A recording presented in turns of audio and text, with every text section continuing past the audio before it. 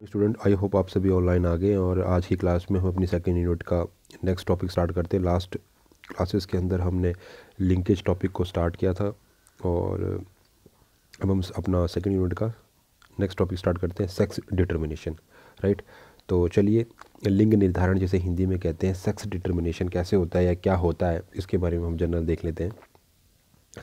तो establishment of sex through the differential development in the individual. Establishment of sex मतलब लिंग का निर्धारण होना स्टैब्लिशमेंट होना। किसी भी इंडिविजुअल जैसे अब आपको पता है कि जाइगोट कहाँ बन रहा है?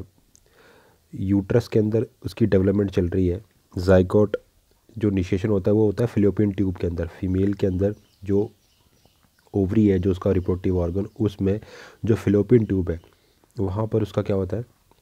फर्टिलाइजेशन यानी इनिशिएशन होता है मतलब स्पम और ओवम एक दूसरे को फ्यूज़ करते हैं और उसके बाद उसकी इम्प्लांटेशन होती है उस जाइगोट की कहाँ पर? यूट्रस के अंदर। ठीक है?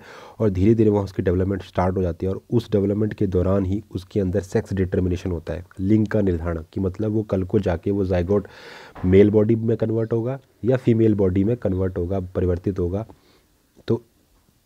वो वो कहता है, उस सेक्स की इस्टेब्लिशमेंट यानी लिंग का निर्धारण कैसे होता है? थ्रू द डिफरेंशियल डेवलपमेंट विभिन्न विवेदन जिसे कहते हैं डिफरेंशियल अलग अलग जो परिवर्धन चलते हैं इंडिविजुअल के अंदर, कब at the early stage of life जीवन के प्रारंभिक अवस्था के दौरान, प्रारंभिक अवस्था कौन सी जब भ्रूणीय परिवर्धन चल रहा है एम्ब्रियोनिकल डेवलपमेंटल जब चल रहा है, उस समय, उसके अंदर कौन सा डेवलपमेंट चलता है? डिफरेंशियल मतलब विविध वाला जो उसको एक दूसरे से विभिन्न भिन्न कर रहा है।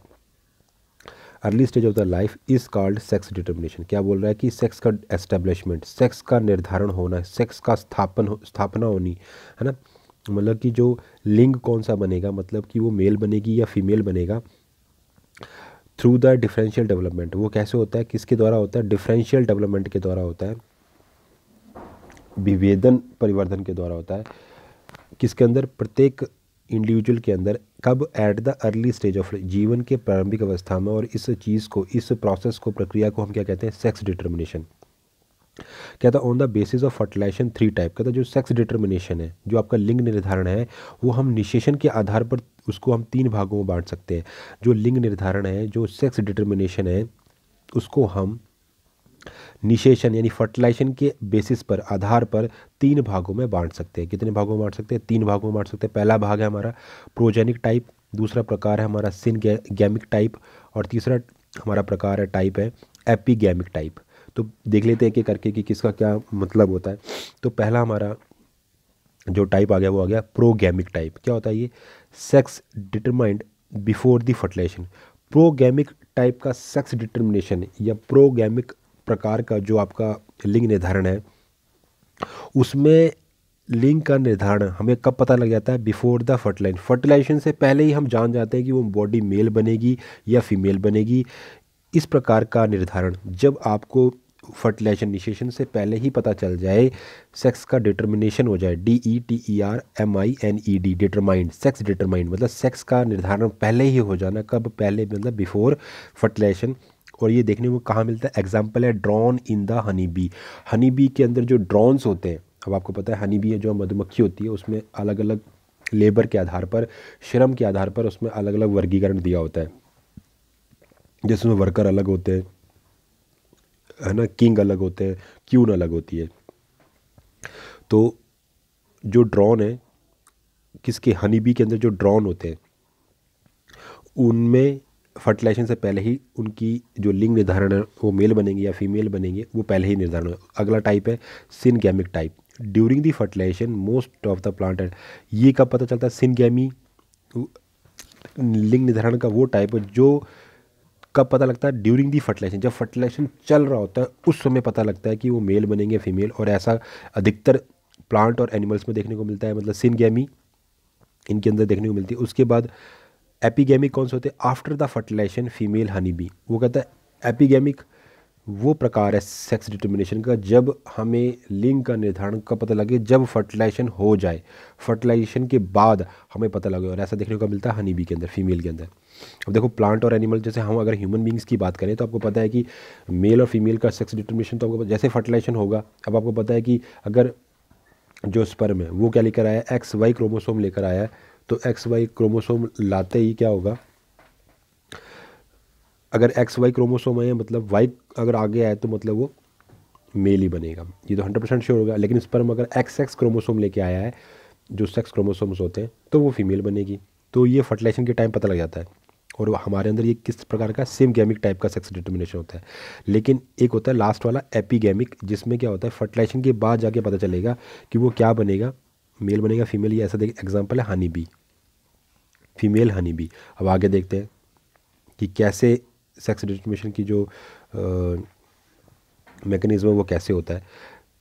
Mechanism of the sex determination लिंग निर्धारण की क्रियाविधि कैसे होती है? तो पहला होता है, पहला सिस्टम है number one allosomic determination of sex allosomic determination of sex क्या होता है? कहता है क्रोमोसोम हमारी बॉडी में क्रोमोसोम जो होते हैं वो दो टाइप के होते हैं।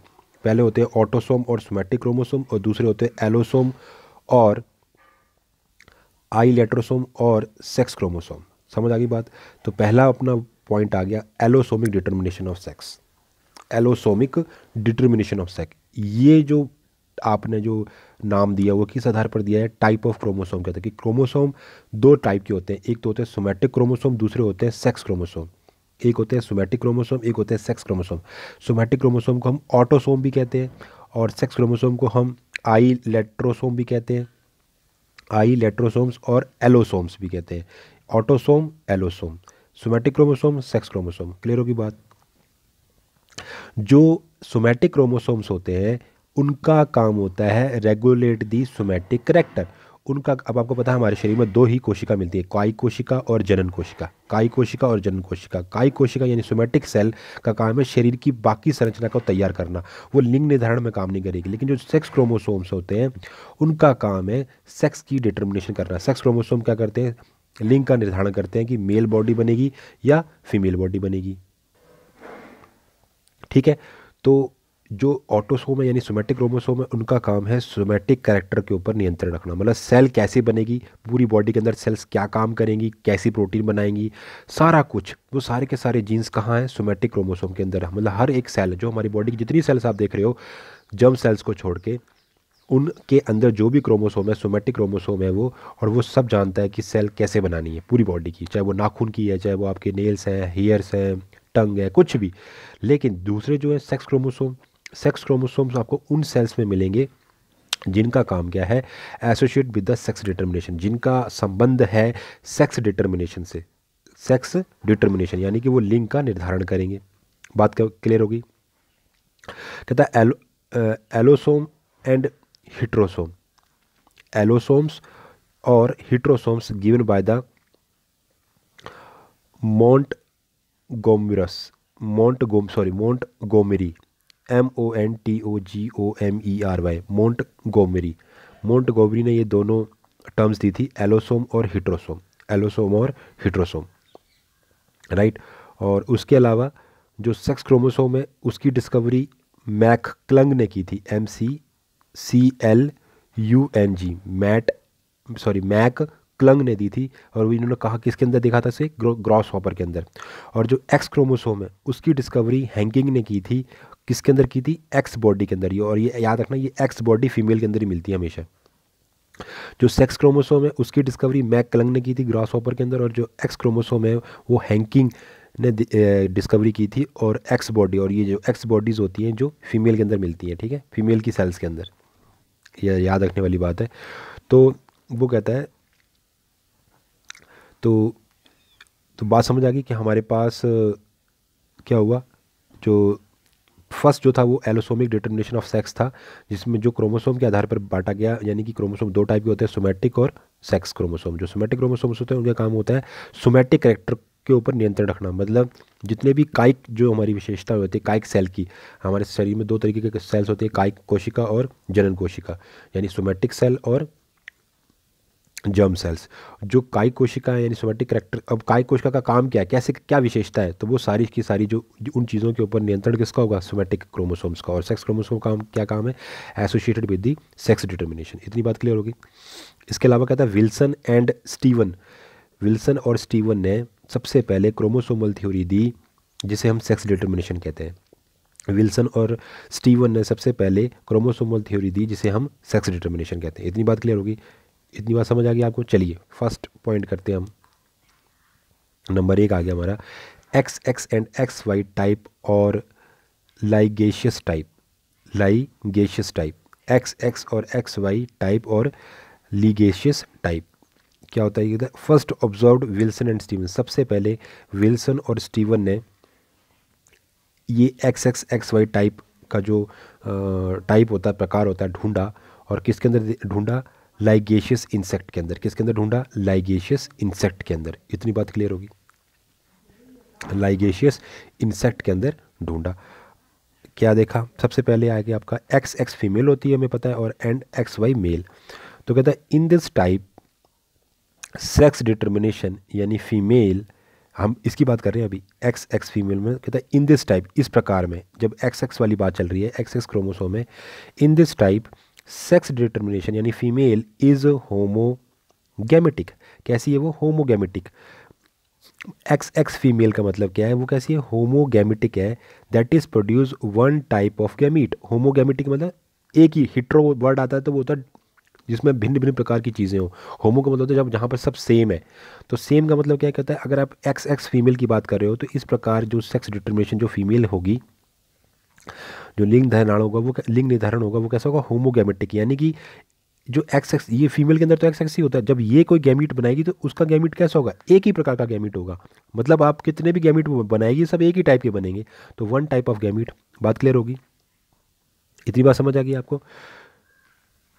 आगे देखते हैं। कहते हैं two A plus X X female two A plus X X female तो गैमिट जो बनेंगे वो बनेगा ए एक्स और A plus X A X और ए प्लस एक्स वो कहता है, जो मेल है मेल कैसा है? मेल इज़ ए हिट्रोगैमेटिक क्यों होता है हिट्रोगैमेटिक क्योंकि आपको पता है, जो मेल में क्या होता है? एक्स और वाई होता है। तो उसके गैमिट क्या बनेगा? एक बनेगा एक्स दूसरा बनेगा वाई तो हिट्रोगैमिट क्यों है? क्योंकि produce the two type of gamete वो दो तरीके का गैमिट बनाता है। तो two A plus X Y male giving you gamete A plus X और A plus Y A plus X और ए प्लस वाई इतनी बात समझ आ गई। यहाँ क्या हो रहा था? यहाँ उसने बोला कि फीमेल तो एक ही टाइप का गैमिट बनाती है। तो ए एक्स और दूसरा है ए प्लस एक्स और यहाँ पर ए प्लस एक्स और ए प्लस वाई क्योंकि दो टाइप के बन रहे हैं। इतनी बात समझ आ गई। चलिए आगे देखते हैं। कहता है, in male X chromosome containing gamete called the gynosperm कहता है मेल के अंदर जो हमारे पास एक्स क्रोमोसोम है जो मेल के अंदर जो एक्स क्रोमोसोम है कंटेनिंग गैमीट वो जिस, उसने जो अपने अंदर गैमीट रखा है, उसको क्या कहते हैं? गाइनोस्पम क्या बोलते हैं? गाइनोस्पम और जो वाई क्रोमोसोम है, उसका जो गैमीट है, वो क्या कहलाता है? एंड्रोस्पम बात समझ आ गई? मेल में जो एक्स क्रोमोसोम है और उसके द्वारा जो गैमीट बनेगा, उसे कहते हैं गाइनोस्पम और जो वाई क्रोमोसोम उसके पास जो गैमीट है, उसे कहते हैं एंडोस्पम क्या बोलते हैं? एंडो इस चीज़ को याद रखना। एक्स क्रोमोसोम मेल की बात कर रहे हैं? मेल के अंदर जो एक्स क्रोमोसोम है, नर के अंदर जो एक्स क्रोमोसोम है, उसके द्वारा जो गैमीट कंटेन किया जाएगा, रखा जाएगा या बनाया जाएगा, वो कहलाता है गाइनोस्पम और वाई क्रोमोसोम के द्वारा एंडोस्पम इतनी बात क्लियर होगी? चलिए, अब हमारा नेक्स्ट बी पॉइंट आ गया। एक्स वाई फीमेल और एक्स एक्स मेल या इसे कहते हैं जेड डब्ल्यू फीमेल और जेड जेड मेल ये ये कंडीशन भी होती है कि एक्स वाई फीमेल और एक्स एक्स मेल या जेड डब्ल्यू फीमेल और जेड जेड मेल कहते ये जो एक्स वाई फीमेल है in this type sex determination female heterogametic अब यहाँ देख रहे हो, यहाँ पे एक्स एक्स कंडीशन नहीं है, जो हमने पीछे पढ़ी, जो एक नॉर्मल ह्यूमंस के अंदर देखा जाता है कॉम्बिनेशन ये है एक्स वाई फीमेल इस प्रकार का जो कॉम्बिनेशन होगा, जिसमें एक्स वाई फीमेल होगी, उसमें जो सेक्स डिटर्मिनेशन आप लिंग निर्धारण जो करोगे फीमेल के अंदर, वो कैसी होगी? हिट्रोगेमेटिक होगी। मतलब वो दो टाइप के that is produce two type of the gamete यानी वो दो प्रकार के युग्मक को बना सकती है। दो प्रकार के युग्मक बनाएगी। मेल इज़ होमोगैमेटिक, जबकि मेल कैसा है? एक्स एक्स तो मेल कैसा है? होमोगेमेटिक यानी कि वो क्या बना रहा है?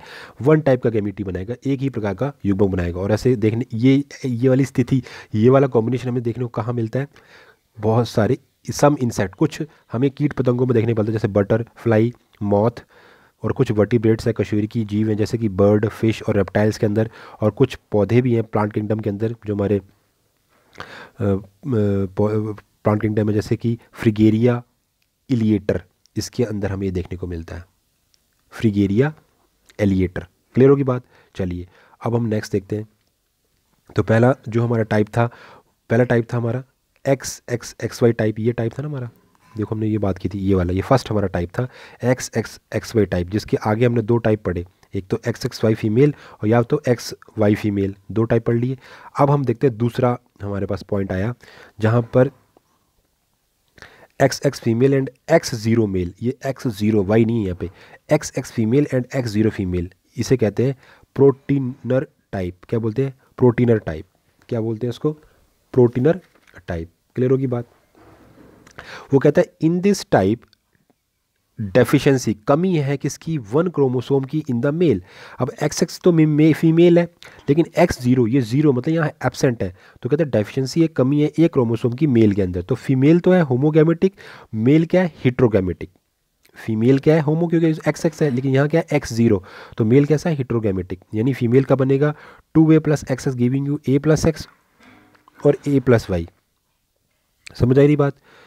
ए प्लस एक्स और ए प्लस वाई जबकि मेल क्या बनाएगा? ए प्लस ज़ीरो और ए प्लस एक्स इतनी सी बात समझ आ गई। और इसको भी आप ना एक जो यहाँ पर हमारा पीछे हमने किया था, ये देखो। यहाँ पर जो गैमिट बनेगा ना, वो ए प्लस एक्स करना उसको। ए प्लस एक्स और ए प्लस एक्स है ना? क्योंकि एक ही टाइप का होगा ना गैमिट जो बना, वो एक ही टाइप का बना। बने तो दो, लेकिन एक ही टाइप के। ए प्लस एक्स और यहाँ प्लस मैं लिखना भूल गया हूँ, और ये ए प्लस एक्स ठीक है? इतनी बात समझ आ गई? चलिए आगे चलते हैं। तो उसने कहा कि फीमेल कैसी हमारी होमोगेमेटिक है दोनों एक टाइप के हैं और अगर हम मेल का देखें तो ए प्लस ज़ीरो है और ए प्लस एक्स है तो ये हिट्रोगेमेटिक टाइप है। ऐसा आपको देखने में इस, ये ऐसा जो कॉम्बिनेशन है वो कहाँ देखने को मिलता है? सेक्स क्रोमोसोम के अंदर grasshopper squash by एनानास cockroach Ascaris है ना? इनके अंदर आपको देखने को मिलता है। बात क्लियर होगी? आगे देखते हैं। अब है हैप्लॉयड डिप्लॉयड मैकेनिज्म क्या होता है हैप्लॉयड डिप्लॉयड अगुणित द्विगुणित क्या क्रियाविधि होती है? कहता है sex determination take place sex determination take place set of chromosome कहते हैं, जो जो लिंग निर्धारण है, ये कैसे किया जाता है? क्रोमोसोम के सेट सेट को देखकर। क्या बोल रहा है? जो सेक्स लिंग निर्धारण है, वो क्रोमोसोम के सेट को देख के दिया जाता है। अगर डिप्लॉइड है टू सेट है तो वो फीमेल है, और हैप्लॉइड है तो वो क्या है? वन सेट डिप्लॉइड है, यानी टू सेट है तो फीमेल है, और haploid one set O N E one set एक सेट है तो वो मेल बनता है। ये भी होता है हैप्लॉइड डिप्लॉइड मैकेनिज्म को भी देखा जाता है। इसके आधार पर भी आप लिंग निर्धारण कर सकते हो। कहता है कि sex determination haploid diploid mechanism में क्या होता है, हम सेक्स का लिंग का निर्धारण कैसे करते हैं? क्रोमोसोम के सेट को देखकर। कहता है, अगर डिप्लॉइड सेट है वहाँ पर डिप्लॉइड मतलब टू एन कंडीशन है। क्या कंडीशन है? वो कहता है, अगर आपके पास टू एन कंडीशन है और एक एन कंडीशन है। टू वन कंडीशन का मतलब क्या होता है? दुई गुणित अवस्था, यानी कि डिप्लॉयड कौन सी कंडीशन है आपके पास? और अगर एन कंडीशन मतलब आपके पास हैप्लॉइड है। कौन सी कंडीशन है? हैप्लॉइड यानी कि अगुणित अवस्था। टू एन का मतलब होता है क्रोमोसोम नंबर आपके कैसे हैं? फुल है और एन का मतलब होता है क्रोमोसोम आपके पहले से आधे हो गए। कितने भी थे वो आधे हो गए। एन में वो क्या होते हैं? डबल होती है कंडीशन और एन में वो हाफ़ हो जाती है। इतनी बात समझ आ रही है? ठीक है, चलो आगे देखिए। तो उसने क्या बोला?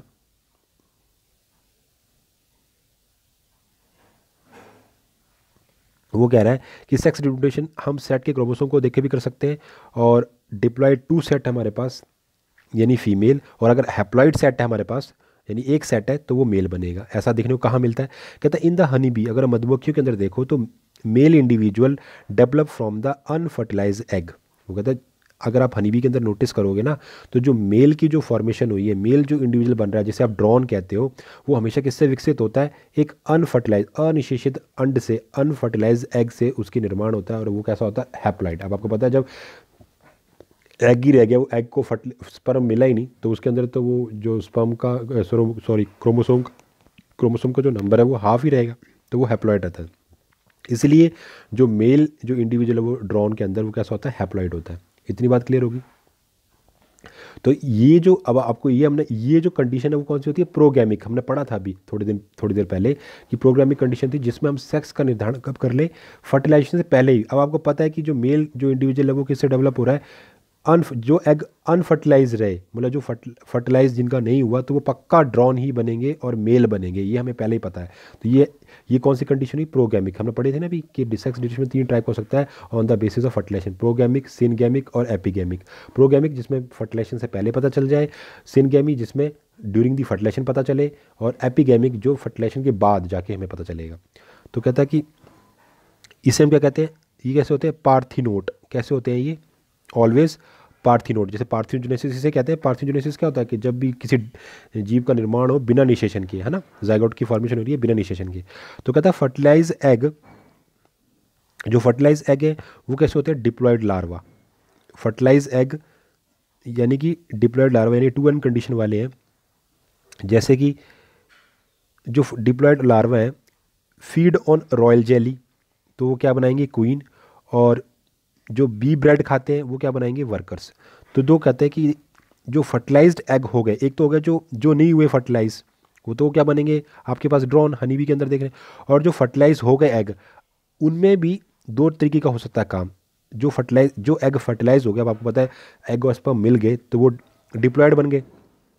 अब वो डिप्लॉयड लार्वा लार्वा बना फर्टिलाइज एग से लार्वा बना वो लार्वा कैसा डिप्लॉयड है? अनफर्टिलाइज रहे तो, तो वो ड्रॉन बनेंगे मेल बनेंगे लेकिन जो फर्टिलाइज हो गए जिनमें निशेषण हो गया वो आगे जाके लार्वा में कन्वर्ट हुए वो लार्वा अगर क्या खाए? रॉयल जेली फ़ीड ऑन मतलब वो अपने भोजन में रॉयल रॉयल मतलब बहुत अच्छी टाइप की क्या खाए? रॉयल जेली खाएँ हनी बी के छत्ते के अंदर तो वो कल को जाके क्या बन जाती है? क्वीन उसे कहते हैं फर्टाइल यहाँ पीछे छुप रहा है ये फर्टाइल क्वीन यानी फर्टाइल मतलब उपजाऊ क्वीन जो आगे जाके जनरेशन को बनाने में हेल्प करेगी, है ना? फर्टाइल क्वीन जो अंडे दे सकती है। और जो खाएँ बी ब्रेड जो उसका सिर्फ़ ब्रेड ब्रेड खाएँ जेली नहीं खा रहे। वो जो जो छत्ते के अंदर सिर्फ़ ब्रेड को खा रहे हैं, वो कल को जाके क्या बनेंगे? वर्कर बनेंगे। उसके दास बनेंगे वर्कर बनेंगे। मधुमक्खी के अंदर और वो कैसे होंगे? स्ट्राइल फीमेल वो कैसे होंगी? स्ट्राइल फीमेल स्ट्राइल मतलब जो आगे अपने आगे एग्ज़ नहीं बना सकती, आगे अंडे नहीं बना सकती अपने अंदर, ठीक है? उनका काम सिर्फ़ है काम करना, ठीक? वो आगे जनरेशन नहीं, अपनी न्यू जनरेशन को नहीं बना सकती तो वो कैसी फीमेल हुई स्ट्राइल तो ये फीमेल के, वो कहता है जो फर्टिलाइज एग है, जो फर्टिलाइज एग है तो ये कौन सी कंडीशन है? एपिजेनिक देखो, ये अब, ये ऊपर वाली कंडीशन कौन सी है? प्रो प्रोगैमिक कि हमें फर्टिलाइजेशन से पहले ही पता है और अगर फर्टिलाइजेशन हो गया, फर्टिलाइजेशन हो गया, उसके बाद अगर उसने जेली खाई, रॉयल जेली तो तो वो क्या बनेगी? Fertile queen. और अगर उसने ब्रेड खाई तो वो क्या बनेगी? Sterile female. तो ये हमें फर्टिलाइजेशन के बाद तो ये कौन सी कंडीशन होगी? एपिगेमिक। मतलब हमें फर्टिलाइजेशन के बाद पता, जाके पता चलेगा, अगर उसने जेली खाई तो तो वो फर्टाइल फीमेल बनेगी, उपजाऊ मतलब जो आगे न्यू जनरेशन बना सकती है, ऐसी फीमेल बनेगी। और अगर उसने ब्रेड ब्रेड खाई तो वो क्या बनेगी? वर्कर वो भी फीमेल वर्कर बनेगी, लेकिन वो आगे न्यू जनरेशन को नहीं बना सकती। वो स्ट्राइल फीमेल बनेगी, ठीक है? तो फर्टाइल और स्ट्राइल का पता लग गया फर्टाइल का मतलब जो आगे जाके, जिसके अंदर गुण है, कि वो आगे नेक्स्ट जनरेशन को बना सकती है। और स्ट्राइल का मतलब क्या हुआ? कि जो आगे वाली जनरेशन को नहीं बना सकती। तो थैंक यू सो मच आज हमने अपनी दो यूनिट टोटली कंप्लीट कर ली है। तो अगले हम नेक्स्ट अब थर्ड यूनिट को स्टार्ट करेंगे. Thank you so much